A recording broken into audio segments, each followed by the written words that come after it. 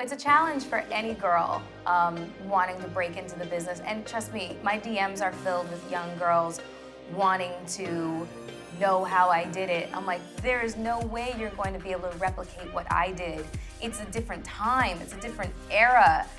It's just different, you know? I, I can't do what a lot of you know, Instagram models are doing. I'm, I'm too old and tired for that. The only thing that I can say that worked for me is to show your well-roundedness. You know, you've got to create more than just, you know, a curated visual concept of yourself.